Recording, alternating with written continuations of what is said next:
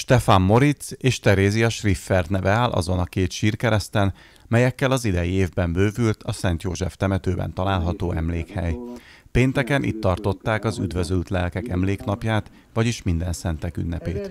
Ennek a megemlékezésnek már közel évtizedes hagyománya van, mondta Hak Ferenc, a sírkereszt emlékhely létrehozója. Az első önkormányzati ciklusomba bekerülvén átgondoltam, hogy mik, mik azok a teendők, amit belén esetleg rész ö, hozzá tudnék járulni a akkor még kisebbségi önkormányzat ö, ö, munkájához, tevékenységéhez és a német ö, hagyományok ápolásához. Alt Norbert alpolgármester, Hak Ferenc és a német önkormányzat értékmentő munkájának a jelentőségét emelte ki. Ez egy olyan kulturális hagyatékmentés, egy értékmentés, amely azt célozza, hogy ezeket a régi típusú sírkereszteket megőrizze. Ezek a sírkeresztek, én is kérdeztem Feritől, hogy hol találja ezeket, ezek itt vannak a temető hátsó részében.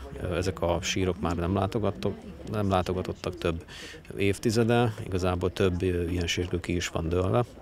És Feri, illetve a Német Nemzetiségű Önkormányzat évekkel ezelőtt úgy gondolja, hogy ezeket a, úgymond a helyi kulturális örökséghez tartozó kereszteket megőrzi. A német önkormányzat tavaly két padot helyezett ki, idén két újabb keresztet helyeztek el az emlékhelyen. Én úgy gondolom, hogy az egész temetőnek meg visszaadja azt a jellegét, ami, ami reméljük, hogy soha nem fog eltűnni, de mégis amikor az ember belép ide a német a temetőbe, a német temetőbe, akkor egyből látja azokat a sírkereszteket, azokat a német nyelvű feliratokat, amelyek az őseinkre vezethetőek vissza, aki akár nem hiszi el majd mondjuk pár száz év múlva, hogy tényleg itt németek laktak. Reméljük, hogy addigra ez a Simkereszt még itt lesz, emlékhelyét lesz, és láthatják. Az ünnepség végén az emlékezők helyezték el koszorúikat, mécseseiket.